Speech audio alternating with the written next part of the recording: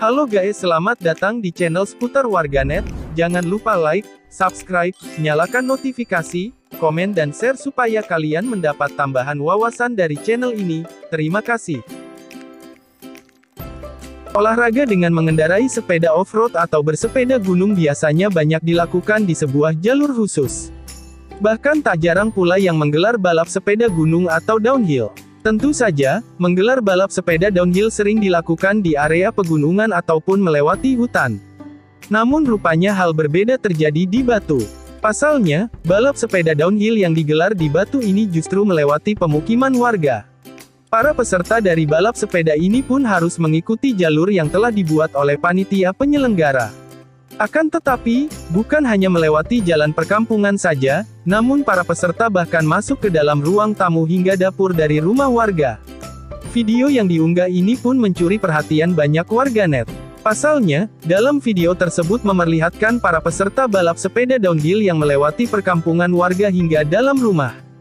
Dalam video terlihat seorang pria yang tengah memberikan arahan untuk mulainya sang pesepeda melakukan balapan. Namun, uniknya ajang balapan sepeda tersebut dilakukan di jalanan perkampungan warga. Bahkan rute yang telah diatur oleh panitia juga memperlihatkan masuk ke dalam rumah. Acara balap sepeda ini pun diketahui digelar di kota wisata Batu. Bahkan, para pebalap sepeda ini sampai masuk dalam rumah warga yang ada di perkampungan Kungkuk Batu, Malang. Video para pesepeda yang melakukan balapan hingga masuk dalam rumah ini pun beredar luas di media sosial. Bahkan tak sedikit pula yang merasa heran akan acara tersebut. dua, satu, go!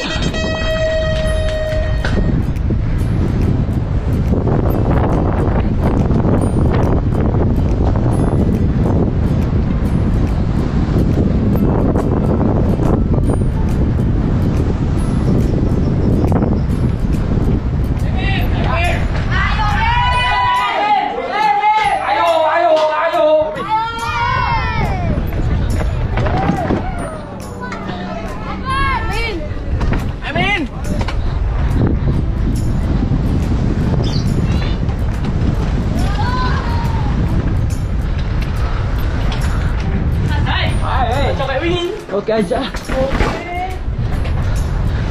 Oh.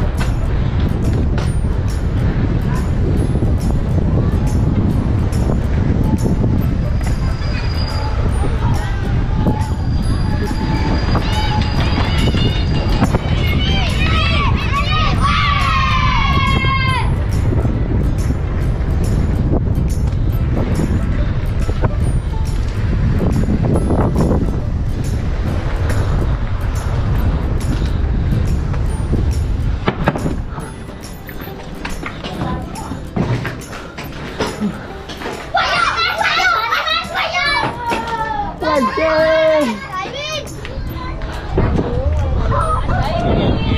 Diving!